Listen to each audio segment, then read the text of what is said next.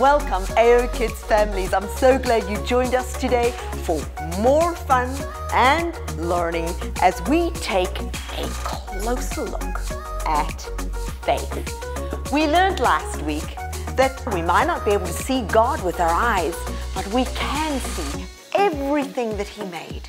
We can take a look at His big story in our Bibles and we also can see all that He's done in our lives thus far. Let's take a look at the Bible definition of faith found in Hebrews 11, verse 1. Hebrews 11, 1 is being sure of what you hope for and being sure of what we do not see. Итгэл гэдэг бол найддаг зүйлсээ маань бодит байдал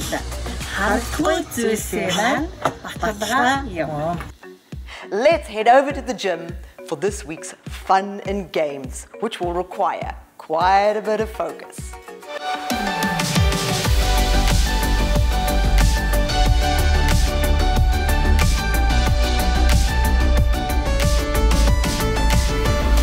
and welcome to Game Time with Amanda. I'm Amanda. Today we've got an awesome game with donuts. Let's meet our contestants. Hi, what are your names? My name is Colton And I'm BJ. And why are you going to win? because I love donuts. Fantastic! Hi, what are your names? Emily, I'm Craig. And why are you going to win? because we sing opera. Oh, Hallelujah! Wonderful! Hello, and what are your names? I'm Natalie. I'm Alan. And why are you going to win? Because we're hungry to win. Great! So, today we've got donuts that are tied to a string. Each team is going to have one person sitting and one person holding the end of the string. The person sitting will have to eat the donut as fast as they can without dropping it on the floor. If it drops on the floor, you're out. There'll be two rounds, one with the kid eating and one with dad eating. Are you ready? Yeah! Kids, take a seat.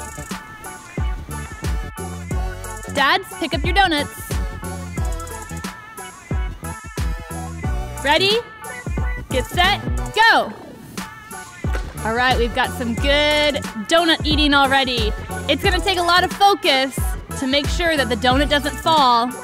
We've got a few bites in. Oh, Colton is really going for it.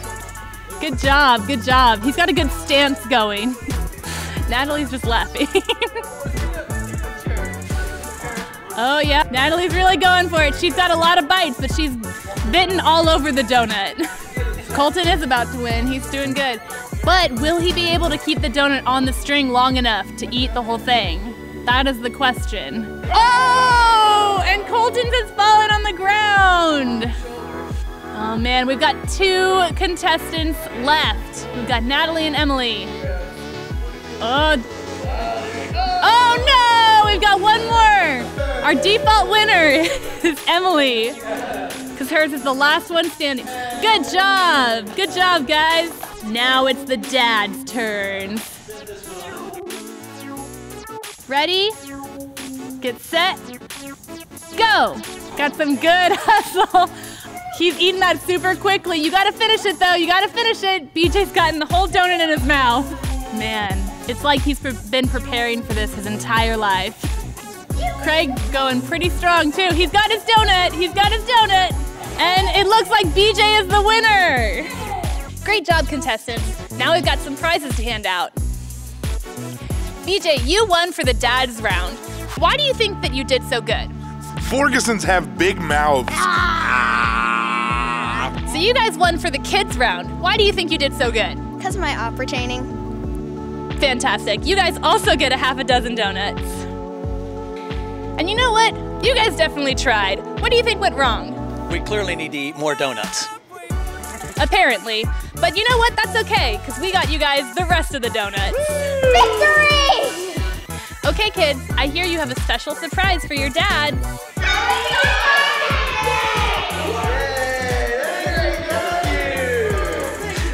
Why don't you feed your dad the donut?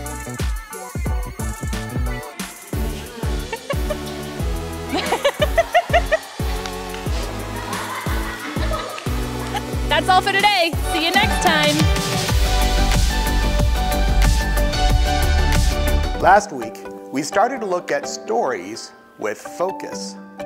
We met a man named Saul.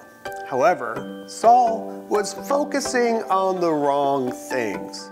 So God stopped Paul with a light.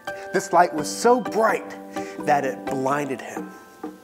Then we saw how God used another man named Ananias to heal Saul's blindness so God could show him the right things to focus on. Saul was so excited about his new faith, he started preaching right away. However, some people started to recognize him. And that's why Jesus of Nazareth is the Messiah. Hey, this guy is really good. He is. He's answering every question the leaders are giving him. Hey, I think I know this guy. Yeah? Yeah. Yeah, he does look familiar. Yeah. Isn't isn't he the guy the Sanhedrin sent down here? No, you're not thinking that guy Saul, are you? I mean, yeah, he has to be, right? I thought he was sent here to go after all the Jesus followers. Weird. And now he's preaching the gospel. Hmm, well, there's gotta be something to this Jesus guy. Greetings.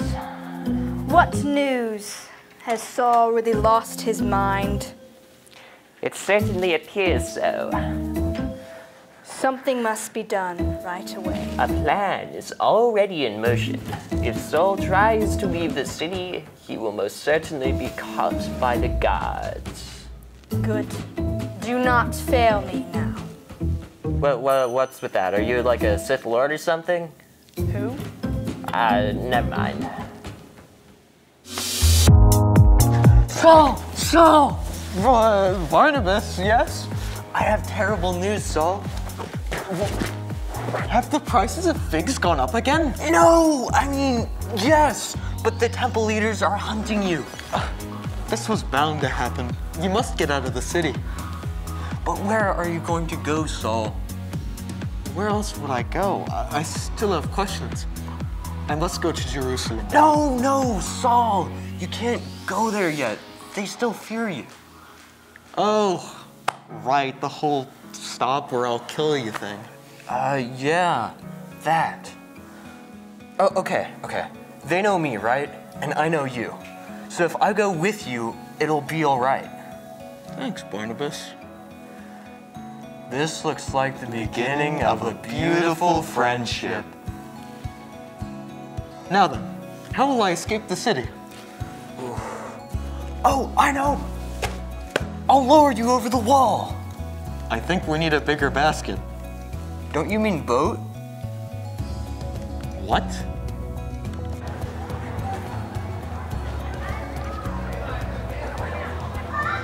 I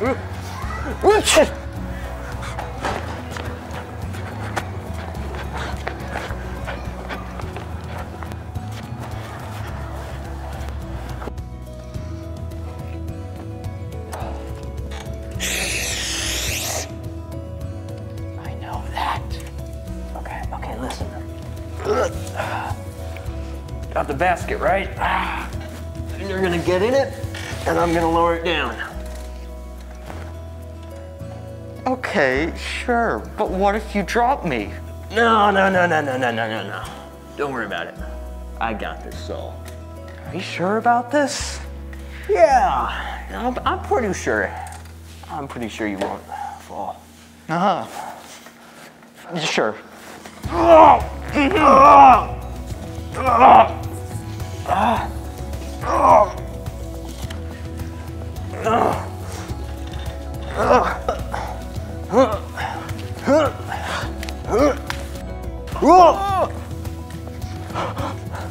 Sorry, Paul. Almost there.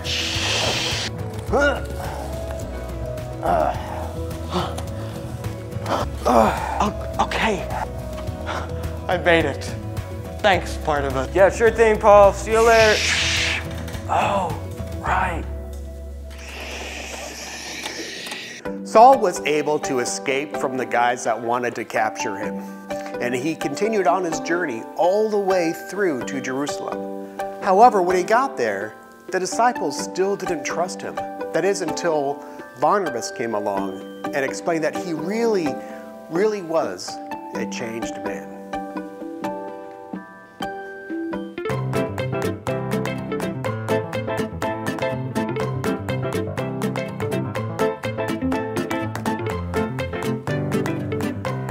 Saul traveled all over Jerusalem with the disciples, preaching the word with them.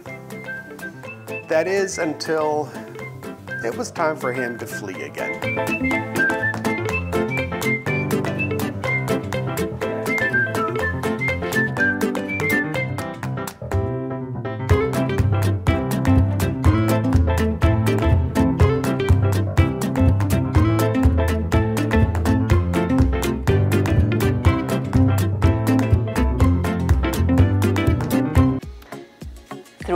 Bible, we read about so many people and situations trying to stop God's church from growing. But because of the courage and the power of the Holy Spirit, God's church kept on growing. People had to focus and keep on courageously telling others about Jesus. Let's think about some people that had to have huge focus. For example, first of all, we've got Ananias.